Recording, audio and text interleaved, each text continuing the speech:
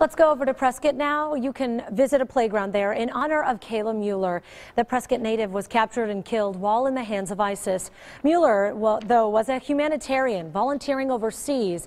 She was killed last year. Her parents spoke very briefly at the dedication yesterday, saying they could really feel her presence there, and she would be proud knowing that she is bringing joy to other families.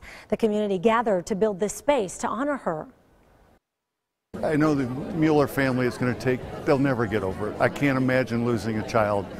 But this is the silver lining to that dark cloud. And if a couple kids grow up saying, I want to be like Kayla, we did good here today. The playground features a zip line, slides, swings, and more. It took more than a year to build.